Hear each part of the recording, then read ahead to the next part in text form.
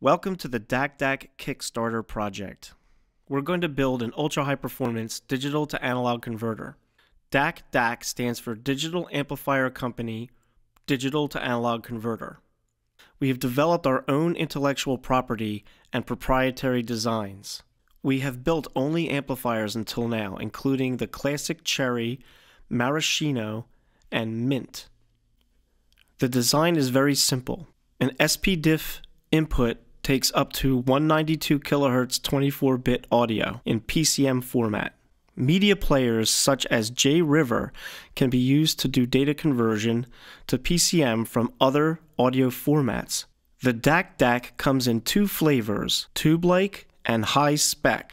This no compromise design minimizes signal path length to deliver the highest possible audio quality. With the DAC DAC, you can skip over the preamp and drive your amplifiers directly.